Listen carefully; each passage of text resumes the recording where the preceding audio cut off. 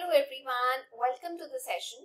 ਅੱਜ ਦੀ ਕਲਾਸ 'ਚ ਆਪਾਂ ਪੜਨ ਜਾ ਰਹੇ ਹਾਂ ਪੰਜਾਬ ਸਕੂਲ ਐਜੂਕੇਸ਼ਨ ਬੋਰਡ ਦੀ 8ਵੀਂ ਕਲਾਸ ਦੀ ਸੋਸ਼ਲ ਸਟੱਡੀਜ਼ ਦੀ ਬੁੱਕ ਤੇ ਉਹਦਾ 20th chapter India after independence ਆਜ਼ਾਦੀ ਤੋਂ ਬਾਅਦ ਜਿਹੜਾ ਭਾਰਤ ਸੀ ਉਹਦੀ ਗੱਲ ਕਰਾਂਗੇ ਤੇ ਇਸ ਚੈਪਟਰ ਦੇ ਇੰਪੋਰਟੈਂਟ ਕੁਐਸਚਨ ਆਨਸਰਸ ਬਾਰੇ ਚਰਚਾ ਕਰਾਂਗੇ ਪਹਿਲਾ ਕੁਐਸਚਨ ਹੈ when constituent assembly was constituted and how many members did it had?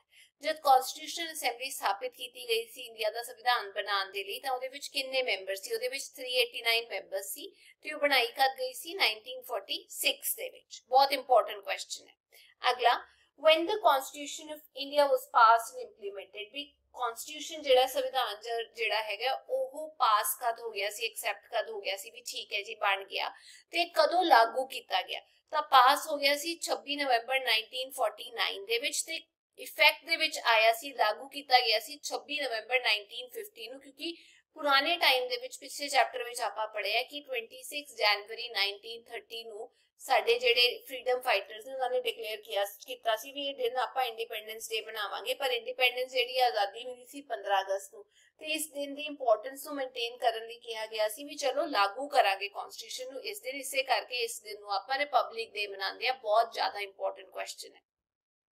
अगला क्वेश्चन बहुत ज्यादा इंपॉर्टेंट है who is given the credit for the unification of Indian princely states Bharat ਦੇ ਵਿੱਚ ਜੋ ਅਲੱਗ-ਅਲੱਗ ਰਿਆਸਤ ਰਿਆਸਤ ਸੀਗੀਆਂ ਜਿਹੜੀਆਂ ਇੰਡੀਪੈਂਡੈਂਟ ਰਹਿਣਾ ਚਾਹੁੰਦੀਆਂ ਸੀ ਉਹਨਾਂ ਨੂੰ ਇੰਡੀਆ ਦੇ ਵਿੱਚ ਜੋੜਨ ਦੇ ਵਿੱਚ ਕਿਹਦਾ ਹੱਥ ਸੀ ਕਿਹਦਾ ਯੋਗਦਾਨ ਸੀ ਉਹ ਸੀਗੇ ਪਹਿਲੇ ਹੋਮ ਮਿਨਿਸਟਰ ਸਰਦਾਰ ਵੱਲਭ ਭਾਈ ਪਟੇਲ ਉਹਨਾਂ ਨੇ ਯੂਨੀਫਿਕੇਸ਼ਨ ਕਰਾਈ ਸੀ ਸਪੈਸ਼ਲੀ ਜੂਨਾਗੜ੍ਹ ਹੋ ਗਿਆ ਹైదరాబాద్ ਹੋ ਗਿਆ ਕਸ਼ਮੀਰ ਹੋ ਗਿਆ ਜਿਹੜੀ ਚੀਜ਼ਾਂ ਆਪਾਂ ਪੜ੍ਹੀਆਂ ਕਲਾਸ ਦੇ ਵਿੱਚ ਚੈਪਟਰ ਡਿਸਕਸ ਕਰਦੇ ਹੋ how Hyderabad state was merged with India ਦੇਖੋ ਹਾਈਦਰਾਬਾਦ ਦਾ ਜਿਹੜਾ ਨਿਜ਼ਾਮ ਸੀ, ਉਹ ਕਹਿੰਦਾ ਮੈਂ ਤਾਂ ਫਰੀ ਰਹਿਣਾ, ਨਾ ਤਾਂ ਇੰਡੀਆ ਨਾਲ ਜੁੜਨਾ, ਨਾ ਪਾਕਿਸਤਾਨ ਨਾਲ ਜੁੜਨਾ, ਮੈਂ ਆਜ਼ਾਦ ਰਹਿਣਾ, ਮੈਂ ਤੁਹਾਡੇ ਅਧੀਨ ਨਹੀਂ ਹੋਣਾ। ਉਹਦਾ ਨਾਂ ਸੀ ਨਿਜ਼ਾਮ ਉਸਮਨ ਅਲੀ ਖਾਨ। ਉਹਨੇ ਰਿਫਿਊਜ਼ ਕਰਤਾ ਸੀ, ਮੈਂ ਇੰਡੀਆ ਦੇ ਨਾਲ ਨਹੀਂ ਜੁੜਨਾ, ਤੇ ਰਾਤੋਂ ਰਾਤ ਪੁਲਿਸ ਐਕਸ਼ਨ ਹੋਇਆ, ਪੁਲਿਸ ਲੈ ਕੇ ਗਏ ਉੱਥੇ। 13 ਸਪਟੈਂਬਰ 1948 ਦੇ ਵਿੱਚ ਤੇ ਬਾਅਦ ਦੇ ਵਿੱਚ ਇਹਨੂੰ ਇੰਡੀਆ ਦੇ ਨਾਲ ਜੋੜ ਦਿੱਤਾ ਗਿਆ ਸੀ। 4 ਦਿਨ ਦੇ ਅੰਦਰ ਅੰਦਰ 17 ਸਪਟੈਂਬਰ 1948 ਦੇ ਵਿੱਚ। ਅਗਲਾ how many leaders were in the state reorganisation commission ਜਦ ਸਟੇਟਸ ਨੂੰ ਰੀਆਰਗੇਨਾਈਜ਼ ਕਰਨ ਦੀ ਗੱਲ ਹੋਈ ਸੀ ਵੀ ਚਲੋ ਇਹ ਸਟੇਟ ਇਹਦੇ ਨਾਲ ਜੋੜ ਦੋ, ਆਏ ਦੇ ਨਾਲ ਜੋੜ ਦੋ, ਉਹਦੇ ਵਿੱਚ ਕਿੰਨੇ ਮੈਂਬਰ ਸੀ? ਉਹਦੇ ਵਿੱਚ ਮੈਂਬਰ ਸੀਗੇ ਤਿੰਨ। ਅਗਲਾ write down any two principles of Panchsheel ਸ਼ਾਇਦ ਮੈਂ ਤੁਹਾਨੂੰ ਯਾਦ ਹੋਏ ਕਲਾਸ ਦੇ ਵਿੱਚ ਡਿਸਕਸ ਕੀਤਾ ਸੀ ਵੀ ਜਿਹੜੀ ਪੰਚਸ਼ੀਲ ਦੀ ਪਾਲਿਸੀ ਹੈਗੀ ਆ, ਉਹ 1954 ਦੇ ਵਿੱਚ ਸਾਈਨ ਹੋਈ ਸੀ, ਚਾਈਨਾ ਤੇ ਇੰਡੀਆ ਦੇ ਵਿੱਚ, ਜਿਹਦੇ ਵਿੱਚ ਇਹ ਕਿਹਾ ਗਿਆ ਸੀ ਵੀ ਪੀਸਫੁਲ ਕੋਐਗਜ਼ਿਸਟੈਂਸ ਹੋਏਗੀ, ਸ਼ਾਂਤੀ ਨਾਲ ਰਵਾਂਗੇ ਕੋਈ ਐਗਰੈਸ਼ਨ ਨਹੀਂ ਹੋਏਗਾ ਨਾਨ ਐਗਰੈਸ਼ਨ ਹੋਏਗਾ। ਇੱਕ ਦੂਜੇ ਦੇ ਇੰਟਰਨਲ ਮੈਟਰਸ ਦੇ ਵਿੱਚ ਕੋਈ ਇੰਟਰ ਇੰਟਰਨਲ ਮੈਟਰਸ ਦੇ ਵਿੱਚ ਕੋਈ ਦੇਸ਼ ਜਿਹੜਾ ਹੈਗਾ ਉਹ ਨਹੀਂ ਬੋਲੇਗਾ ਇੱਕ ਦੂਸਰੇ ਦੇ ਅੰਦਰਲੇ ਮਸਲਿਆਂ ਦੇ ਵਿੱਚ। ਫਿਰ ਇਕੁਐਲਿਟੀ ਰਹੇਗੀ ਤੇ ਨਾਲ ਦੀ ਨਾਲ ਕੋਆਪਰੇਟ ਕਰਾਂਗੇ ਆਪਾਂ ਮਿਊਚੁਅਲ ਕੋਆਪਰੇਸ਼ਨ ਰੱਖਾਂਗੇ ਇੱਕ ਦੂਜੇ ਦੇ, ਧਿਆਨ ਰੱਖਾਂਗੇ। ਤੇ ਇੱਕ ਦੂਜੇ ਦੇ ਜਿਹੜੀ ਟੈਰੀਟਰੀ ਹੈਗੀ ਹੈ, ਉਹਦੀ ਇੰਡੀਪੈਂਡੈਂਸ ਦੀ ਵੀ ਆਪਾਂ ਰਿਸਪੈਕਟ ਕਰਾਂਗੇ, ਜਿਹਨੂੰ ਆਪਾਂ ਕਹਿੰਦੇ ਆ ਸੋਵਰੇਨਿਟੀ ਅਗਲਾ question when and where the first conference of non-aligned movement ਜਾਂ alignment movement was held. Non-alignment movement ਜਿਹੜੀ ਹੈਗੀ ਆ, ਉਹਦੇ ਵਿੱਚ ਇੰਡੀਆ ਦਾ ਬਹੁਤ ਵੱਡਾ ਯੋਗਦਾਨ ਸੀ, ਤਿੰਨ ਇੰਪੋਰਟੈਂਟ ਦੇਸ਼ ਸੀਗੇ, ਉਹਦੇ ਵਿੱਚ ਜਿਹੜੇ ਜੁੜੇ ਸੀ ਇਜਿਪਟ ਯੂਗੋਸਲਾਵੀਆ ਤੇ ਇੰਡੀਆ ਤੇ ਇਹਦੀ ਫਰਸਟ ਮੀਟਿੰਗ ਹੋਈ ਸੀ 1961 ਦੇ ਵਿੱਚ ਪੰਚਸ਼ੀਲ ਦੇ ਪ੍ਰਿੰਸੀਪਲਸ ਤੇ ਬੇਸਡ ਹੈਗਾ। ਉਸ ਟਾਈਮ ਤੇ ਇਹਦੇ ਵਿੱਚ ਪਹਿਲਾਂ ਜਦ ਮੈਂਬਰਸ ਆਏ ਸੀ 25 ਮੈਂਬਰ ਆਏ ਸੀ ਠੀਕ ਹੈ, ਤੇ ਮੀਟਿੰਗ ਹੋਈ ਸੀ ਬੈਲਗ੍ਰੇਡ ਦੇ ਅੰਦਰ। Write down a note on non aligned movement non aligned movement ਦੇ ਉੱਤੇ ਤੁਸੀਂ ਇੱਕ ਨੋਟ ਲਿਖਣਾ ਹੈ। ਦੇਖੋ, ਜਦ first world sorry second world war ਜਦ ਖਤਮ ਹੋਈ ਸੀ, ਤਾਂ ਪੂਰਾ ਜਿਹੜਾ ਵਰਲਡ ਹੈਗਾ ਉਹ ਦੋ ਹਿੱਸਿਆਂ ਦੇ ਵਿੱਚ ਵੰਡਿਆ ਗਿਆ ਸੀ। ਇੱਕ ਸਾਈਡ ਸੀਗਾ ਵੈਸਟਰਨ ਬਲੌਕ ਜਿਹਨੂੰ ਆਪਾਂ ਅਮਰੀਕਨਸ ਕਹਿੰਦੇ ਆ ਤੇ ਦੂਜਾ ਹੈਗਾ ਈਸਟਰਨ ਬਲੌਕ ਜਿਹਦੇ ਵਿੱਚ ਰਸ਼ੀਆ ਆ ਜਾਂਦਾ ਸੀ।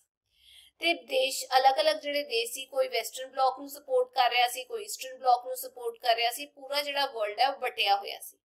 ਇਸ ਟਾਈਮ ਤੇ ਇੰਡੀਆ ਜਿਹੜਾ ਹੈਗਾ, ਉਹਨੇ ਕਿਹਾ ਵੀ ਮੈਂ ਦੋਨਾਂ ਨਾਲ ਨਹੀਂ ਜੁੜਨਾ।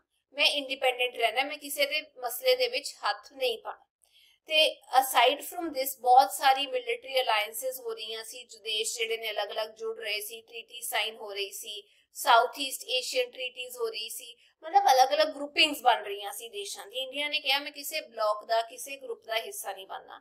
ਇਸੇ ਕਰਕੇ ਇੰਡੀਆ ਦੇ ਜਿਹੜੀ ਸਟ੍ਰੈਟਜੀ ਸੀ, ਉਸੇ ਨਾਨ ਅਲਾਈਨ ਮੂਵਮੈਂਟ ਦੀ। ਇਸੇ ਕਰਕੇ ਪੰਡਿਤ ਜਵਾਹਰ ਲਾਲ ਨਹਿਰੂ ਤੇ ਯੂਗੋਸਲਾਵੀਆ ਦੇ ਪ੍ਰੈਜ਼ੀਡੈਂਟ ਟੀਟੋ, ਇਜਿਪਟ ਦੇ ਪ੍ਰੈਜ਼ੀਡੈਂਟ ਨਸੀਰ ਇਹਨਾਂ ਨੇ ਇਕੱਠੇ ਹੋ ਕੇ ਇਸ ਦੇ ਬਾਰੇ ਸੋਚਿਆ ਤੇ ਸਾਈਨ ਕੀਤਾ ਵੀ ਆਪਾਂ ਇਹਦੇ ਨਾਲ ਰਵਾਂਗੇ।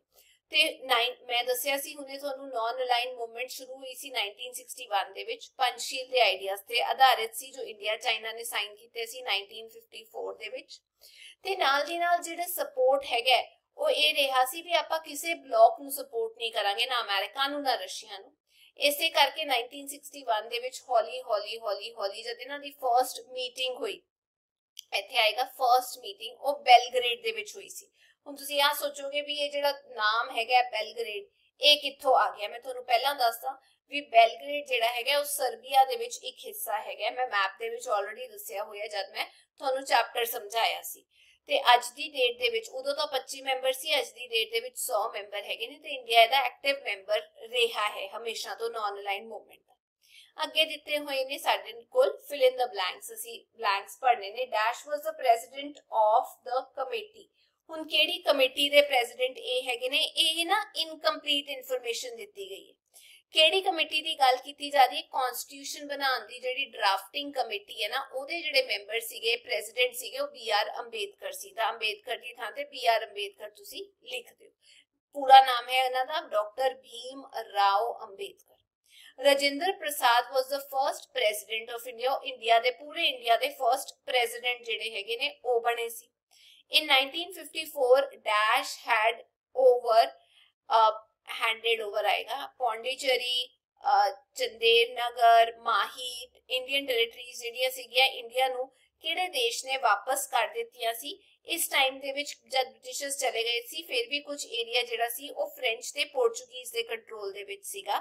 ਤੇ ਐਂਡ ਦੇ ਵਿੱਚ ਆਪਾਂ ਜਾ ਕੇ ਇਹ ਕਹਿ ਸਕਦੇ ਹਾਂ ਵੀ ਇਹ ਵੀ ਜਿਹੜੇ ਏਰੀਆ ਸੀਗੇ ਇਹ ਫ੍ਰੈਂਚ ਲੋਕਾਂ ਦੇ ਕੰਟਰੋਲ ਦੇ ਵਿੱਚ ਸੀਗੇ ਤੇ ਇਹ ਉਹਨਾਂ ਨੇ ਸਾਨੂੰ ਵਾਪਸ ਦੇ ਦਿੱਤੇ ਸੀ ਅੱਗੇ ਟਰੂ ਜਾਂ ਫਾਲਸ ਦੱਸਣਾ ਹੈ After getting independence, India constituted a committee of seven members for the drafting of constitution. ਜੀ ਹਾਂ ਆਜ਼ਾਦੀ ਤੋਂ ਬਾਅਦ ਸਟਾਰਟ ਕੀਤਾ ਸੀ ਵੀ ਡਰਾਫਟ ਕਰਨਾ ਆਪਣਾ ਸੰਵਿਧਾਨ ਬਣਾਉਣਾ In the end of 1948, India occupied the French and Portuguese settlements which were situated in India. ਦੇਖੋ ਇਹਦੇ ਵਿੱਚ ਮੈਂ ਇਹ ਕਹਿ ਸਕਦੀ ਹਾਂ ਵੀ ਪੋਰਚੁਗੀਜ਼ ਨੇ ਗੋਆ ਦਮਨ ਐਂਡ ਦਿਊ ਜਿਹੜਾ ਹੈਗਾ ਉਹਦੇ ਤੇ ਉਹ ਰੂਲ ਕਰ ਰਹੇ ਸੀ ਠੀਕ ਹੈ ਤੇ ਉਹਨਾਂ ਨੇ ਤਾਂ ਆਪਾਂ ਕਹਿ ਸਕਦੇ ਹਾਂ ਵੀ ਜਿਹੜੇ ਪੋਰਟ ਇਹਦੇ ਵਿੱਚ ਸਭ ਤੋਂ ਪਹਿਲਾਂ ਮੈਂ ਤੁਹਾਨੂੰ ਦੱਸਣਾ ਚਾਹੁੰਦੀ ਹਾਂ ਵੀ ਪੋਰਚੁਗੀਜ਼ ਜਿਹੜੇ ਸੀਗੇ ਉਹ ਰੂਲ ਕਰ ਰਹੇ ਸੀ ਗੋਆ ਦੇ ਉੱਤੇ ਉਹਨਾਂ ਕੋਲ ਸੀਗਾ ਦਮਨ ਐਂਡ ਦਿਊ ਤੇ ਉਹਨਾਂ ਕੋਲ ਹੀ ਸੀਗਾ ਸਾਡੇ ਕੋਲ ਜਿਹੜਾ ਮੇਜਰ ਏਰੀਆ ਹੈ ਇੰਡੀਆ ਦਾ ਇਹੀ ਵਾਲਾ। ਫ੍ਰੈਂਚ ਦੀ ਗੱਲ ਕਰੀਏ ਤਾਂ ਉਹਨਾਂ ਦੇ ਕੰਟਰੋਲ ਦੇ ਵਿੱਚ ਸੀਗਾ ਪੌਂਡੀਚੇਰੀ ਚੰਦੇਰ ਨਗਰ ਬੰਗਾਲ ਦੇ ਕਿਤੇ ਨੇੜੇ ਤੇੜੇ ਵਾਲਾ ਏਰੀਆ ਤੇ ਨਾਲ ਦੀ ਨਾਲ ਮਾਹੀ ਜੋ ਪੌਂਡੀਚੇਰੀ ਦਾ ਹੀ ਹਿੱਸਾ ਹੈਗਾ। ਹੁਣ ਹੋਇਆ ਕਿ 1954 ਦੇ ਵਿੱਚ ਜਿਹੜੇ ਫ੍ਰੈਂਚ ਲੋਕ ਹੈਗੇ ਨੇ, ਉਹਨਾਂ ਨੇ ਨਾ ਆਪਣਾ ਟੈਰੀਟਰੀ ਦੇ ਦਿੱਤਾ ਸੀ, ਪਰ ਪੋਰਚੁਗੀਜ਼ ਨੇ ਲੇਟ ਤੱਕ ਨਹੀਂ ਦਿੱਤਾ ਸੀ। ਇਸੇ ਕਰਕੇ ਮਿਲਟਰੀ ਐਕਸ਼ਨ ਲੈਣਾ ਪਿਆ ਐਂਡ ਦੇ ਵਿੱਚ ਜਾ ਕੇ। ਤੇ ਗੋਆ, ਦਮਨ ਐਂਡ ਦਿਊ, ਦਾਦਰ ਐਂਡ ਨਗਰ ਹਵੇਲੀ ਵੀ ਇਹਦੇ ਵਿੱਚ ਆ ਜਾਂਦਾ ਹੈਗਾ।